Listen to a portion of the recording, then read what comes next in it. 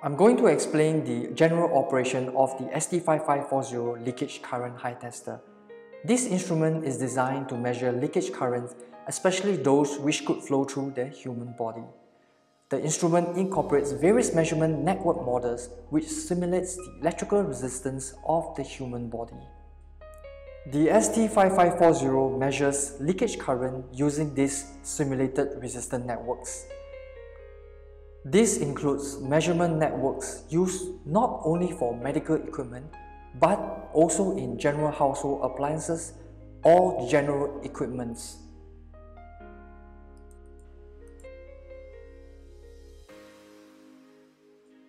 At first, I supply power to the medical equipment from here and check to see if it's turned on. It is powered on and running. Now I will measure enclosure leakage current or touch current. When a measurement item is selected, it starts the measurement. The left screen shows the maximum value and the right screen shows the current measurement value. I will insert a cable. When we measure an enclosure, this kind of material is used.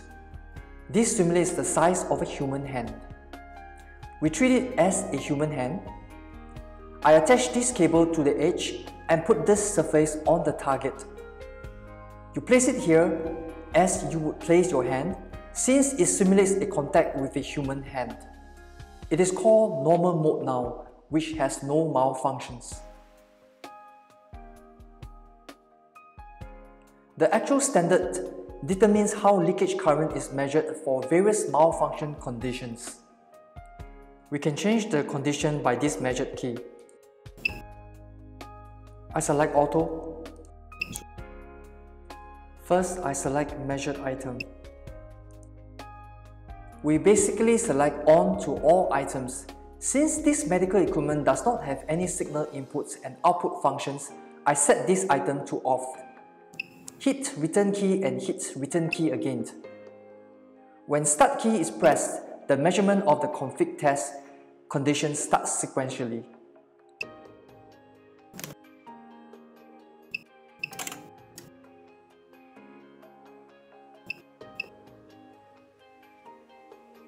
This is the test results. The judgments are all passed.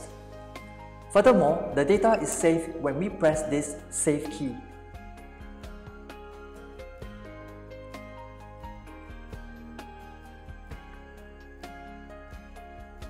The next test is the patient leakage current measurement. I go to the next page. From patient connection to earth is displayed. Press this key. The simulated hand is connected from this T2 terminal to a fitting part. I insert this cable. I insert this into this hole it needs close contact like the previous enclosure test. When you do it manually, press it with your hand tightly. I press this measured key and it simulates various malfunction conditions.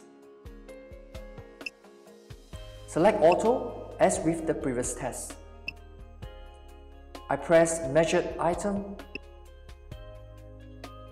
Now all items are set to on, I press the Return key. The test will begin when I press the Start key.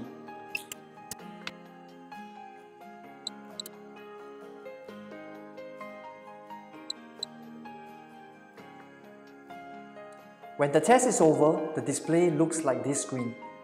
The result equal to or under 1 microampere shows like this. I go to the next page. The values are shown for results over 1 microampere. The data is saved in this tester when Save key is pressed.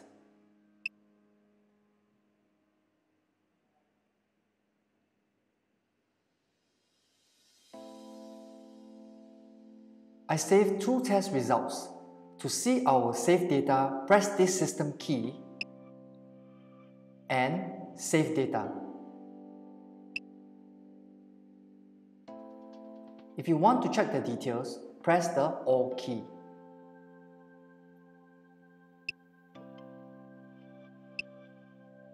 If you want to check the second result, press the Mode key